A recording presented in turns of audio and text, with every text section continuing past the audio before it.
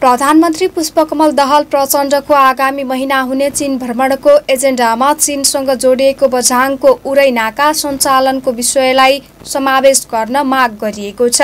उरै नाका सञ्चालनको विषयलाई भ्रमणको एजेन्डामा समावेशका लागि पहल गर्न सुदूरपश्चिमका व्यवसायीहरूले आग्रह गरेका हुन्। उरै नाका सञ्चालनमा ल्याउन सके उद्योग पर्यटन तथा व्यापारका माध्यमबाट सुदूरपश्चिमको आर्थिक समृद्धि हासिल गर्न सकिने उनीहरूको भनाइ छ। उरै नाकाले भारतको राजधानी नयाँ दिल्लीलाई चिनको तिब्बतसँग छोटो दूरीमा जोड्ने भएकाले यसलाई त्रिदेशीय व्यापारिक मार्गको रूपमा विकास गर्न सकिने सम्भावना रहेको व्यवसायीहरूले औल्याएका छन्।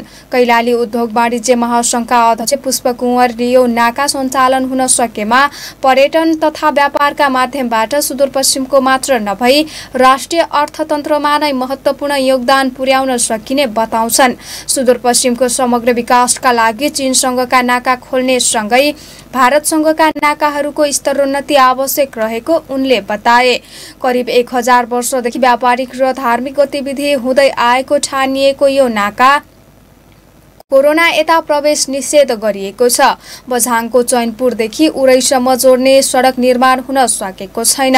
चैनपुरदेखि उरैसम्म एक सय सत्र किलोमिटर मध्ये हालसम्म चालिस किलोमिटरमा मात्र ट्र्याक खोल्ने काम पुरा भएको छ।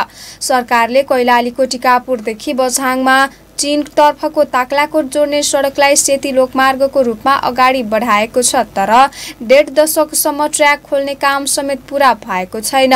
त्रिदेशीय व्यापारिक मार्गको रूपमा विकास गर्न सकिने सम्भावना भए पनि सरकारको प्राथमिकतामा पर्न नसकेको गुनासो यहाँका स्थानीयको छ।